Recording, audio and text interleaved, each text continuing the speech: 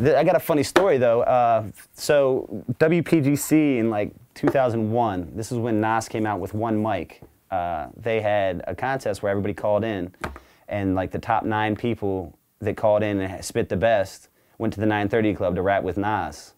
And I actually called in, got through to uh, Flex and Rain at the time, and they picked me. So I actually rapped on stage at the 930 Club with Nas before, which is an interesting thing, especially for you know some white dude in DC that's not really a rapper. So I could chalk that up as something that I've done before I die.